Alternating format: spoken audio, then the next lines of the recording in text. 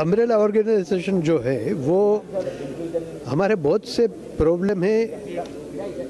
हमारी कैपेसिटी का है। प्रॉब्लम है रेगुलेटर्स के काम करने का है। प्रॉब्लम है टेक्नोलॉजी एडप्शन का है।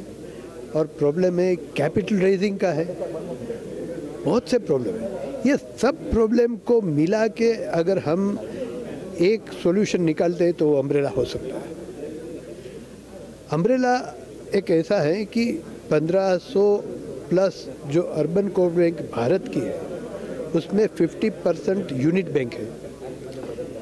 टायर वन बैंक है, टायर टू बैंक है मल्टी स्टेट कोर बैंक है। ये सब का अलग अलग प्रॉब्लम्स हैं और अलग अलग सॉल्यूशन उसको निकालना है।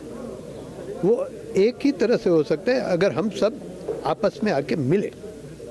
और मिलने के बाद हमारे सॉल्यूशन का रिजोल्यूशन क्या हो सकता है, उसके ऊपर हम चर्चा करते हैं।